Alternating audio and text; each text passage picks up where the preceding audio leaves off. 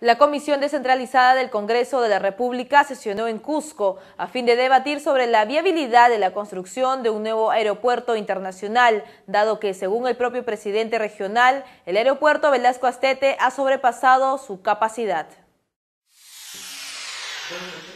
De esta forma se llevó a cabo la sesión descentralizada de la Comisión de Transportes y Comunicaciones del Congreso de la República con el fin de darle viabilidad al aeropuerto internacional para Cusco.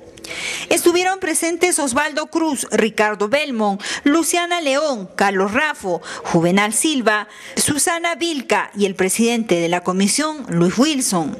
Todos escucharon las propuestas alcanzadas por el Colegio de Ingenieros y el Gobierno regional. El director nacional de Aeronáutica explicó también los requisitos necesarios para dicha construcción, que de acuerdo a las normas se podrá hacer efectiva a unos 5 o 10 años.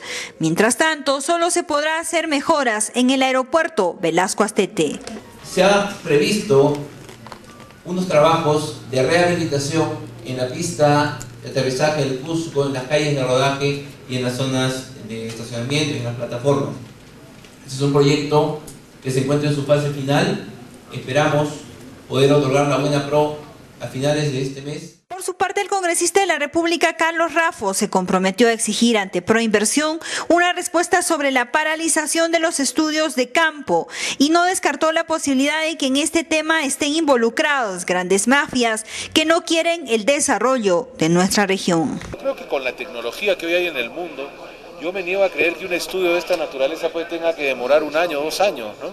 Yo creo que es ahí donde hay que ponerse las pilas y en lugar de eliminar pasos, hacerlos rápidamente.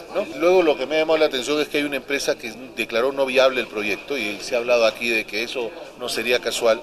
A mí me interesaría saber qué elementos existen para establecer eso y nos serviría, ¿no? Porque no solo la cosa se trata de tirar adelante el proyecto, que es lo más importante, sino de si ha existido algo irregular en el camino, poder detectarlo y sancionarlo si fuera encontrado.